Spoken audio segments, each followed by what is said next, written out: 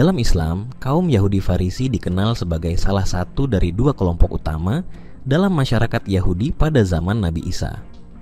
Mereka memiliki pandangan dan praktik keagamaan yang spesifik dan sering disebut dalam Al-Quran dan hadis sebagai contoh kelompok yang menyimpang dari ajaran tauhid, monoteisme, yang murni.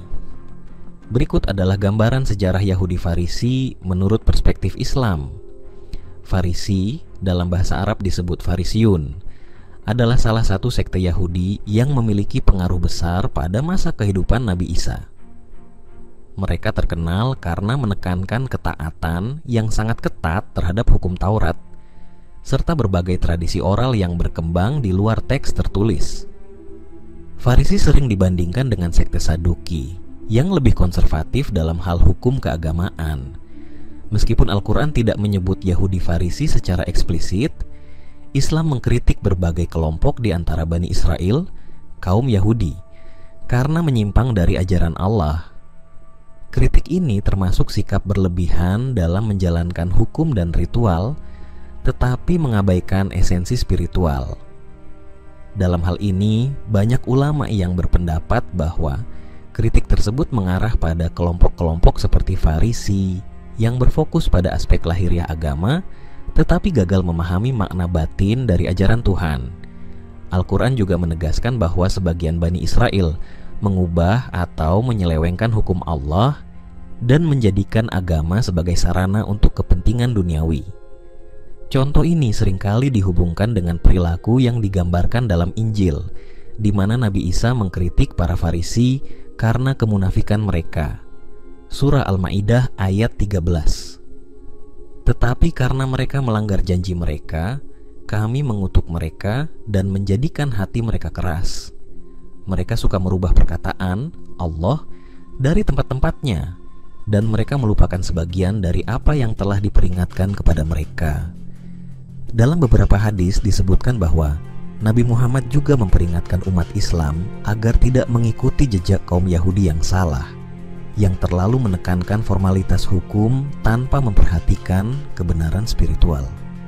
Ada kemiripan dengan kritik Nabi Isa kepada Farisi dalam Injil, di mana mereka diperingatkan agar tidak menjadi munafik dan hanya berpegang pada aturan luar tanpa iman yang sejati. Misalnya, dalam sebuah hadis yang diriwayatkan dari Abdullah bin Umar, Rasulullah bersabda, Janganlah kalian mengikuti jejak orang-orang sebelum kalian, sejengkal demi sejengkal, sehasta demi sehasta, sehingga kalau mereka masuk ke dalam lubang biawak, kalian akan mengikutinya. Para sahabat bertanya, "Wahai Rasulullah, apakah yang dimaksud adalah Yahudi dan Nasrani?" Beliau menjawab, "Siapa lagi?" Hadis riwayat Bukhari dan Muslim. Dalam pandangan Islam, kaum Farisi dipandang sebagai contoh dari golongan yang menyelewengkan ajaran murni para nabi, termasuk Nabi Musa. Mereka terlalu berfokus pada hal-hal ritualistik dan hukum formal, tetapi lupa pada esensi dari ajaran yang disampaikan oleh Allah, yaitu tauhid yang murni dan keadilan. Islam mengajarkan umatnya untuk belajar dari sejarah ini agar tidak terjebak dalam kesalahan yang sama. Yahudi Farisi adalah salah satu kelompok utama dalam Yudaisme selama periode Bait Suci kedua 536 sebelum Masehi hingga 70 Masehi. Mereka memiliki peran penting dalam sejarah agama Yahudi, terutama dalam membentuk dasar Yudaisme rabbinik yang muncul setelah penghancuran Bait Suci kedua oleh Romawi. Mari kita tinjau sejarah Yahudi Farisi dan bagaimana pandangan Islam terkait dengan mereka. Farisi berasal dari kata Ibrani prushim yang berarti yang terpisah atau yang suci. Mereka muncul sebagai salah satu kelompok terkemuka dalam Yudaisme setelah zaman pembuangan Babilonia. Berikut adalah beberapa poin penting dalam sejarah mereka. 1. Masa pembuangan Babilonia. Ketika bangsa Yahudi diasingkan ke Babilonia pada abad ke-6 sebelum Masehi, pengaruh agama dan budaya mereka mulai bertransformasi. Setelah kembali ke tanah Israel, muncul beberapa sekte atau aliran dalam Yudaisme, termasuk Farisi, Saduki, dan Eseni. 2. Peran dalam masyarakat, Farisi adalah golongan yang menekankan pentingnya hukum lisan, tradisi lisan, selain dari Taurat tertulis. Mereka memegang keyakinan bahwa ajaran Yahudi tidak hanya tertulis dalam Taurat, tetapi juga terdapat dalam interpretasi dan tradisi yang diteruskan dari generasi ke generasi. Mereka mempercayai kebangkitan orang mati, kehidupan setelah kematian, dan adanya malaikat yang membedakan mereka dari kelompok Saduki. 3. Persaingan dengan Saduki Kelompok Farisi sering berseberangan dengan Saduki yang cenderung lebih aristokrat dan terikat pada bait suci serta hukum Taurat tertulis saja. Konflik antara Farisi dan Saduki mencerminkan perbedaan pemahaman mereka terhadap agama dan peran bait suci dalam kehidupan religius Yahudi. 4. Setelah penghancuran bait suci kedua, setelah Romawi menghancurkan bait suci kedua, pada tahun 70 Masehi, peran Farisi menjadi lebih dominan. Mereka memainkan peran penting dalam pengembangan Yudaisme rabbinik yang menjadi dasar Yudaisme yang kita kenal saat ini. Tanpa bait suci, fokus mereka pada studi hukum dan praktik keagamaan sehari-hari menjadi landasan untuk kelangsungan agama Yahudi. Dalam Islam, Farisi sering disebut juga sebagai ahli kitab atau Bani Israel diidentifikasi dalam beberapa ayat dalam Al-Quran dan hadis. Pandangan Islam terhadap mereka dapat dikategorikan dalam beberapa aspek berikut. Al-Quran mengakui Yahudi bersama dengan Kristen sebagai ahli kitab yang berarti bahwa mereka telah menerima wahyu ilahi dalam bentuk Taurat dan Injil. Islam menghormati asal-usul wahyu yang mereka terima, tetapi juga menekankan bahwa ajaran ini telah diubah atau dipalsukan seiring berjalannya waktu. Al-Quran mengkritik kelompok-kelompok Yahudi yang dianggap telah mengubah atau menyembunyikan sebagian ajaran dari kitab suci mereka. Dalam hal ini, kaum Farisi dianggap sebagai bagian dari mereka yang salah dalam memelihara ajaran Taurat yang asli. Surah Al-Baqarah ayat 75 hingga 79 menyebut bahwa Sebagian dari mereka menulis kitab dengan tangan mereka sendiri dan mengklaim bahwa itu berasal dari Allah. Kaum Farisi dalam tradisi Islam juga sering dikaitkan dengan sifat munafik dan keangkuhan dalam beragama. Mereka disebut sebagai orang yang sering mengamalkan ritual agama secara lahiriah, tetapi tidak memelihara kesucian hati dan niat yang murni. Surah Al-Baqarah ayat 44 menegur mereka yang memerintahkan kebaikan kepada orang lain, tetapi melupakan diri sendiri dalam melaksanakan perintah Allah. Surah Al-Jumu'ah ayat 5 memberikan perumpamaan bagi mereka yang diberi Taurat tetapi tidak memahaminya atau mengamalkannya dengan benar. Dalam beberapa literatur Islam, kelompok Farisi dikaitkan dengan mereka yang menolak kenabian Muhammad meskipun mereka mengakui tanda-tanda kenabian dalam kitab mereka. Al-Quran menyebut bahwa beberapa ahli kitab mengenali Nabi Muhammad sebagaimana mereka mengenal anak-anak mereka sendiri, tetapi menolak untuk mengikuti kebenaran. Al-Baqarah ayat 146. Kesimpulan, secara historis Yahudi Farisi adalah kelompok yang sangat berpengaruh dalam perkembangan Yudaisme. Mereka menekankan tradisi lisan dan penafsiran hukum yang akhirnya menjadi landasan Yudaisme rabbinik. Sementara itu, dalam pandangan Islam, mereka dihormati sebagai bagian dari ahli kitab, tetapi juga dikritik karena dianggap menyimpang dari ajaran asli yang diturunkan kepada mereka melalui Taurat. Pandangan Islam lebih menekankan aspek penyelewengan hukum dan tradisi yang dianggap telah mengubah ajaran Allah yang murni. Dalam Islam, Yahudi Farisi merujuk kepada salah satu sekte Yahudi pada masa Bani Israel yang terkenal dengan fokus ketat mereka pada hukum dan tradisi agama. Pada era modern, istilah Farisi sering kali digunakan dalam konteks ajaran Islam untuk merujuk kepada kelompok atau individu yang dianggap terlalu legalistik atau berlebihan dalam menafsirkan hukum agama, sering kali tanpa memperhatikan esensi atau nilai spiritualnya. Islam tidak menganggap sekte Farisi modern sebagai sebuah kelompok yang terpisah dalam Yudaisme kontemporer. Kebanyakan umat Yahudi di era modern tidak lagi mengidentifikasi diri mereka sebagai Farisi, tetapi lebih kepada denominasi seperti Ortodoks, konservatif, atau reformasi. Namun, prinsip-prinsip dasar dari sekte Farisi seperti pemeliharaan hukum-hukum Taurat secara ketat masih berpengaruh dalam beberapa segmen Yudaisme, terutama dalam tradisi ortodoks.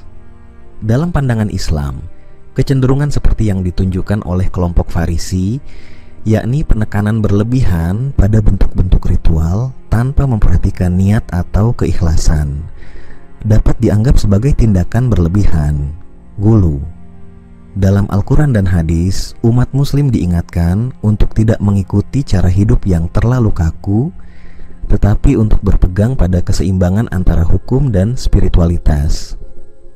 Pelajaran dari kisah Farisi Dalam Islam, Yahudi Farisi sering menjadi simbol atau pelajaran dalam diskusi tentang bahaya berlebihan dalam beragama, termasuk menyombongkan amalan tanpa memahami nilai atau tujuan spiritual di baliknya.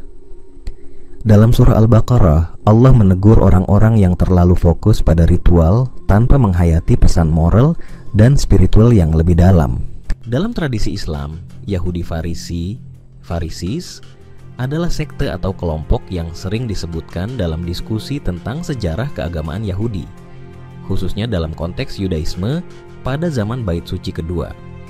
Namun, istilah Farisi Al-Farisiun sendiri tidak banyak dibahas secara spesifik dalam sumber-sumber utama Islam, seperti Al-Quran dan hadis. Sebagian besar pandangan ilmuwan Muslim dan ulama tentang sekte Yahudi Farisi bersumber dari catatan sejarah Yahudi dan Kristen yang ada, serta interpretasi Al-Quran terkait komunitas Yahudi pada zaman Nabi Muhammad dan sebelumnya. Berikut adalah beberapa aspek pandangan ulama dan ilmuwan Muslim tentang Yahudi Farisi berdasarkan perspektif Islam.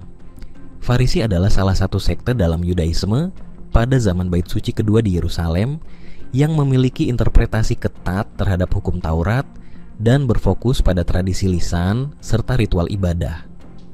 Sekte Farisi sangat berpengaruh dalam pembentukan Yudaisme Rabbinik setelah kehancuran Bait Suci kedua pada tahun 70 Masehi. Para Farisi dianggap sebagai pemimpin spiritual masyarakat Yahudi saat itu. Dalam konteks Islam, beberapa ulama mengenali kelompok Farisi sebagai salah satu dari beberapa sekte Yahudi yang berbeda dari kelompok lain seperti Saduki, Sadusis, dan Eseni, SNS. Namun, pandangan ini lebih bersifat deskriptif dan berasal dari pengaruh sumber-sumber sejarah Yahudi Kristen yang dikaji oleh para ulama muslim. Meskipun istilah Farisi tidak disebut secara langsung dalam Al-Quran, umat Yahudi secara umum dibahas dalam beberapa ayat yang menggambarkan interaksi mereka dengan Nabi Musa dan nabi-nabi lainnya. Al-Quran sering mengkritik beberapa pemuka agama Yahudi karena memutarbalikkan kitab suci atau menyembunyikan kebenaran. Ulama Muslim terkadang menafsirkan kelompok-kelompok seperti Farisi sebagai bagian dari elit keagamaan Yahudi yang mungkin terlibat dalam perilaku tersebut. Misalnya, ayat dalam surat Al-Baqarah ayat 79 menyebutkan, maka celakalah orang-orang yang menulis kitab dengan tangan mereka, lalu mereka mengatakan, "Ini dari Allah," untuk menjualnya dengan harga yang murah. Beberapa ulama menyatakan bahwa ayat ini merujuk pada praktik-praktik sekelompok ahli agama Yahudi yang dianggap menyalahgunakan atau menyalahartikan hukum Tuhan.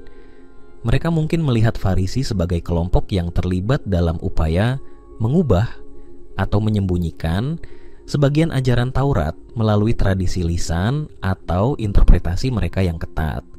Kelompok Farisi dalam Yudaisme dikenal karena ketatnya mereka dalam menjalankan hukum-hukum ritual dan moral dalam Taurat. Namun, dalam beberapa pandangan ulama Muslim, ada kritik terhadap kecenderungan legalisme atau fokus yang berlebihan pada ritual tanpa disertai kesalehan hati.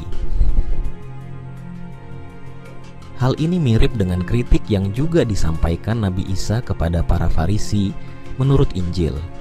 Islam juga mengajarkan pentingnya keseimbangan antara menjalankan ritual dan memiliki ketulusan hati dalam beribadah, sebagaimana ditunjukkan dalam banyak hadis Nabi Muhammad.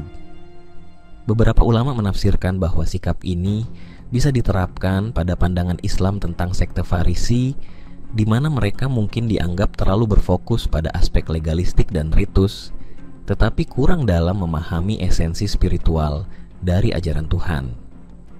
Pandangan ini mengacu pada konsep bahwa agama bukan hanya tentang ritual, tetapi juga tentang niat yang tulus, sebagaimana Nabi Muhammad mengajarkan tentang pentingnya niyah, niat. Dalam Al-Quran, Nabi Isa sering digambarkan sebagai seorang nabi yang datang untuk memperbaiki ajaran yang telah diselewengkan oleh sebagian orang Yahudi. Meskipun Farisi tidak disebutkan secara khusus, para ulama Muslim sering membandingkan kritik Yesus terhadap pemuka agama Yahudi yang keras dalam menjalankan hukum dengan peran Farisi dalam tradisi Yahudi. Yesus dalam Injil menegur para Farisi karena mereka fokus pada aturan-aturan eksternal tetapi melupakan aspek-aspek yang lebih mendalam dari keadilan, kasih sayang, dan keikhlasan. Ini sejalan dengan pesan-pesan dalam Islam yang menekankan bahwa inti agama adalah pengabdian kepada Allah dan bukan hanya sekadar menjalankan ritual secara lahiriah. Dalam dialog antaragama, banyak ilmuwan muslim modern yang mengkaji sejarah Yudaisme dan Kristen untuk memahami lebih baik peran sekte-sekte Yahudi seperti Farisi beberapa studi Islam modern mengakui pengaruh besar Farisi dalam mengembangkan Yudaisme rabbinik dan hukum agama yang sampai sekarang masih dipegang oleh komunitas Yahudi di seluruh dunia. Para cendekiawan muslim yang menulis tentang sejarah agama-agama juga mengakui bahwa Farisi memiliki peran signifikan dalam transisi dari Yudaisme kuno menuju bentuk Yudaisme yang lebih modern mereka tidak selalu melihat kelompok ini secara negatif, tetapi mencoba memahami peran mereka dalam konteks yang lebih luas. Secara umum, pandangan ulama dan ilmuwan Muslim tentang sekte Yahudi Farisi didasarkan pada tafsiran terhadap sejarah Yudaisme serta kritik yang ada dalam Al-Quran terhadap sebagian pemimpin agama Yahudi. Kelompok Farisi sering dianggap sebagai perwakilan dari kecenderungan legalistik yang terlalu menekankan ritual dan aturan tanpa memahami esensi spiritualnya, serupa dengan kritik Yesus dalam Injil. Namun, beberapa ilmuwan Muslim modern juga melihat kontribusi historis penting yang diberikan oleh Farisi dalam mengembangkan Yudaisme yang terus berpengaruh hingga saat ini.